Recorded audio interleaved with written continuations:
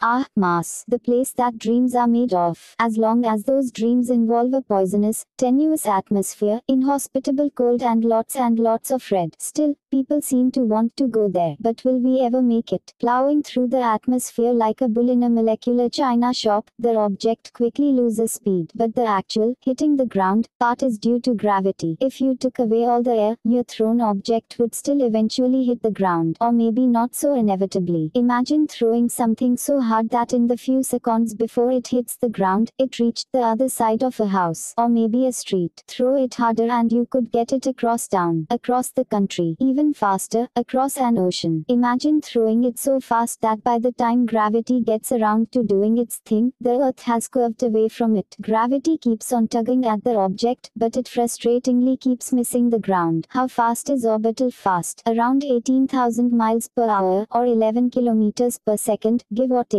There is, after all, an actual atmosphere to deal with. You can certainly go slower and still visit space. Just make sure you packed a heat shield, because you're coming back down. You can also go even faster than orbital speed and escape the jealous clutches of Earth's gravity altogether, which is what it takes to get to Mars. And that's the fundamental challenge. There just aren't many ways of pushing stuff that fast. Our best method so far involves blowing up stuff in a tube, and making sure to leave a hole in one side side. Newton's laws do the rest. It seems primitive, but the engineers tell me these rockets are actually quite complicated. We can easily send robots to Mars because their feelings don't get hurt if you forget to pack the oxygen and food. But people are a different, well, animal altogether. Humans are heavy. Humans need to carry little bubbles of the Earth ecosystem with them everywhere they go. Humans need room to stretch. Humans want to bring human-centric niceties, like hammers and toothpaste and lima beans. Oh, yeah, and we need to bring them back home, I suppose. So pack the spare rockets and extra fuel. And that's just enough stuff for a handful of hominids to poke around the place for a bit. A colony. Look around the city you're in, and marvel at all the junk it takes to get you through the day. Think of all the layers of civilization and organization it takes to get you dinner. A city is a massively complicated thing. Sure, we've built them from the ground up before, but colonies on Earth have a few advantages, namely, a breathable air, B. Liquid water, C. Dirt and D. Proximity to other Earth-based cities. Even the U.S. National Science Foundation's Amundsen Scott South Pole Station, the closest to a Mars colony you can get while keeping two feet on the Earth, enjoys most of these advantages, and is still a nightmare to keep alive. And did I mention the cosmic rays? No. Well, now's a good time. Cosmic rays are high-energy protons and some heavier nuclei zipping through the universe, generated in, well, we're not exactly sure